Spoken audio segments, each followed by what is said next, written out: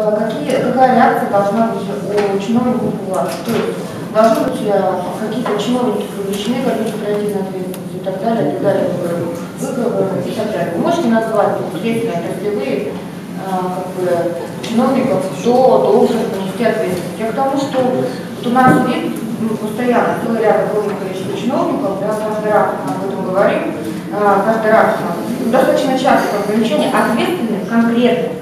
Мы никогда не слышим, не видим, их как будто нет. Вот то, что говорила Ирина.